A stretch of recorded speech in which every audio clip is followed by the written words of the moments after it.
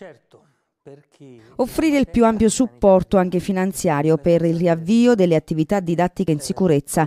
Il governatore Donato Toma ha inviato una lettera ai sindaci, ai presidenti delle province e al rettore dell'Unimol allo scopo di procedere ad una ricognizione dei fabbisogni. Si va dal trasporto, acquisto o noleggio di bus, acquisizione e servizi aggiuntivi, ai piccoli interventi per adeguare gli spazi negli edifici scolastici, dai canoni di locazione per locali da adibire ad attività didattica alla strumentazione per la didattica a distanza distanza e sono 400 le aspiranti matricole di medicina che giovedì sosterranno la prova per l'accesso alla facoltà nel secondo edificio polifunzionale dell'Unimol. Causa Covid, come per i concorsi, i test di ingresso si svolgono nella regione di residenza, quindi in Molise e tutti i molisani che provano ad entrare nelle varie facoltà di medicina, indipendentemente dall'Ateneo.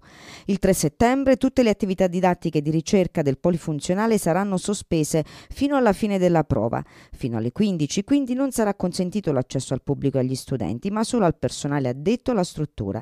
L'accesso alla sede della prova sarà consentito solo ai candidati. Gli accompagnatori non avranno accesso né ai locali interni né alla zona antistante gli spazi adibiti all'identificazione. Le lezioni del nuovo anno accademico partono il 23 settembre grazie alle aule realizzate e alle nuove dotazioni tecnologiche.